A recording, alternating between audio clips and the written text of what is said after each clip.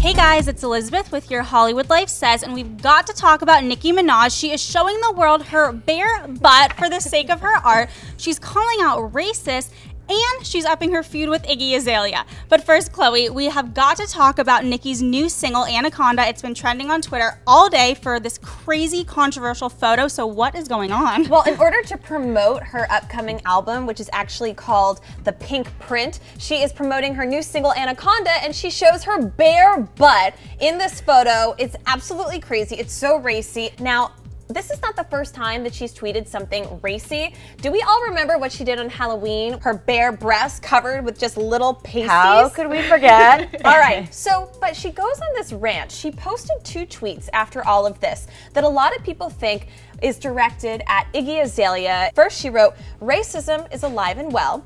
Then she wrote, Some people have to put work in, others get to cut corners. We see it but don't say it. Welcome to the real world. Bonnie, a lot of people think this is about Iggy. Now, this all stems from the BET Awards. When she gave a speech after she won Best Female Artist, she made these comments, and it seemed to be implying that maybe Iggy didn't do her own work.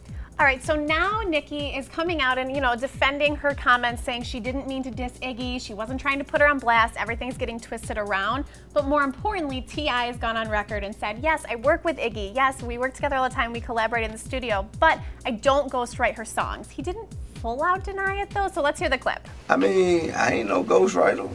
Um, Iggy got her own ideas and thoughts that she presents the world her own way, man. Now, don't get me wrong, everybody in the studio helps with hooks and, you know what I'm saying, certain things like that. With So it does appear that T.I. is admitting that he did help Iggy, but he really is giving her support and giving her credit for doing all of her own work. But we've got to move on to the bigger issue here that's really shocking with Nicki. She tweeted about her racy butt cover, and she's implying that the reactions are racist. Chloe, what's this all about?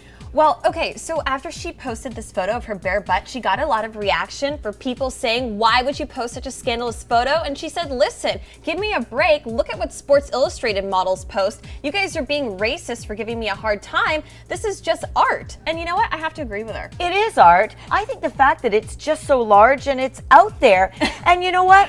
I think it's actually a really beautiful thing. But I mean, a lot of people just take offense in general to Mm-hmm. women's nudity. And now one person that's not taking offense is Big Sean, who spoke out and tweeted that every time I'm gonna be on stage, I'm thinking about this. Who isn't thinking about that? I'm thinking about it. I mean, come on, right?